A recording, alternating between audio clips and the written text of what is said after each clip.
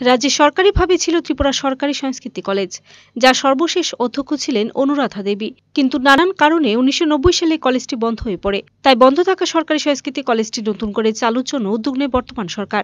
সে লক্ষ্যে এসসিআরটি উদ্যোগে গঠিত হয় কলেজ পুনঃস্থাপনের জন্য কার্যকরী কমিটি। এই কমিটির প্রথম সভা অনুষ্ঠিত হল বৃহস্পতিবার। শিক্ষামন্ত্রী রতনলাল নাথের পৌরোহিত্যে অনুষ্ঠিত এদিনের বৈঠকে উপস্থিত ছিলেন শিক্ষা দপ্তর উচ্চপদস্থ আধিকারিকরা সহ আরও বিশিষ্টজনেরা। বৈঠকে সিদ্ধান্ত হয় নতুন করে এই কলেজটি পুনরায় চালু করার। দিল্লি সংস্কৃত ইউনিভার্সিটি যাতে এই কলেজটির অনুমোদন দেয়, তার জন্য শীঘ্রই চিঠি দেওয়া হবে। শুধু তাই নয়, চলতি শিক্ষাবর্ষেই যাতে নতুন করে সরকারি সংস্কৃতি কলেজ চালু হতে পারে, তার জন্য সমস্ত উদ্যোগ গ্রহণ করারও সিদ্ধান্ত নেওয়া হয় এদিনের বৈঠকে।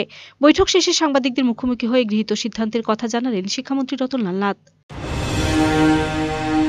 সিআরটির উদ্যোগে এবং এখানে আমাদের ত্রিপুরা রাজ্যে যে সংস্কৃত ইউনিভার্সিটি একলব্য সেন্টার আছে, এখানে যিনি কর্তা রয়েছেন, আমার পাশে বসে আছে এছাড়া আমাদের আহ, উচ্চ শিক্ষা দপ্তরে যিনি হায়ার এডুকেশন কাউন্সিল কাউন্সিলের যিনি চেয়ারম্যান অরুণোদয়বাবু উনিও রয়েছেন ডাইরেক্টর এসসিআরটি রয়েছেন এবং আরও অন্যান্য অতিথিদেরকে নিয়ে আমরা একটা কমিটি করেছি।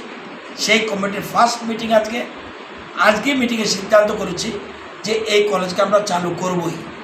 এবং এখনই আমি কেন্দ্রীয় শিক্ষামন্ত্রী রাষ্ট্র, রাষ্ট্রীয়, রাষ্ট্রমন্ত্রী ডক্টর সুভাষ সরকার মহোদয় ওনার সাথে আমি কথা বলেছি এবং আমরা ওনাকে এবং আমাদের কেন্দ্রীয় শিক্ষামন্ত্রী ধর্মেন্দ্র প্রধানকে আমরা চিঠি দেব immediate